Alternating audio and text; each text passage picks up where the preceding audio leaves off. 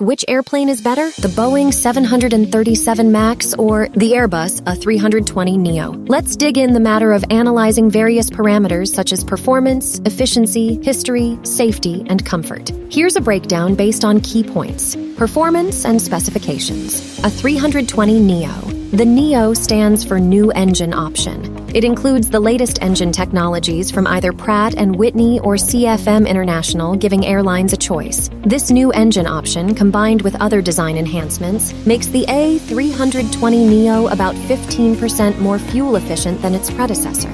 737 MAX. The MAX series also includes updated engines from CFM International and aerodynamic changes, like the new split tip winglets, that also aim to achieve similar fuel savings. History and safety a 320 Neo.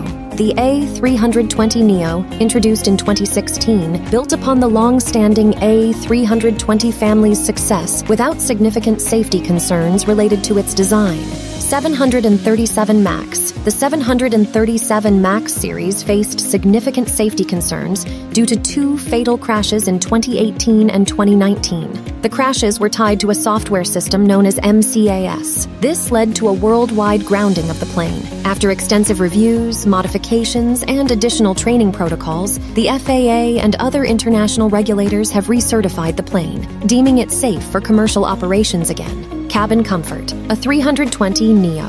The A320 family has a slightly wider fuselage, which can give a perception of more space in the cabin. 737 MAX. The 737's cabin, while slightly narrower, underwent redesigns with the Boeing Sky interior, which aimed to improve the perception of space and comfort for passengers. Operational costs. Both Airbus and Boeing claim their aircraft are the most cost effective, especially regarding fuel efficiency, which is a major operational cost for airlines. The exact costs, however, depend on multiple factors, including the airline's operational practices, routes, fuel prices, and maintenance, orders, and backlog. As of last update, both aircraft families had significant order backlogs, indicative of robust commercial demand. However, the 737 MAX's issues led some airlines to reconsider or cancel their orders. Technology and innovations. Both aircraft feature the latest in aviation technology concerning engines, aerodynamics, and cockpit systems. They are designed to be more fuel efficient, produce fewer emissions, and offer advanced advanced navigation and operational capabilities. To summarize,